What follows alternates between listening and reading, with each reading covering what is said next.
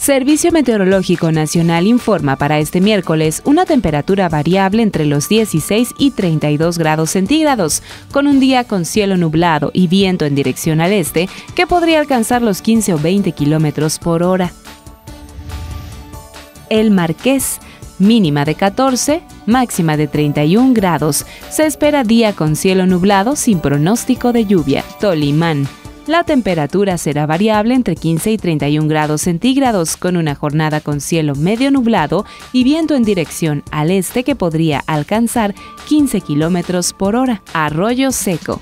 Para este miércoles se espera una jornada poco nubosa, sin pronóstico de lluvia, con temperatura que oscila entre 19 y 36 grados centígrados y viento en dirección al sureste que podría llegar a los 10 kilómetros por hora.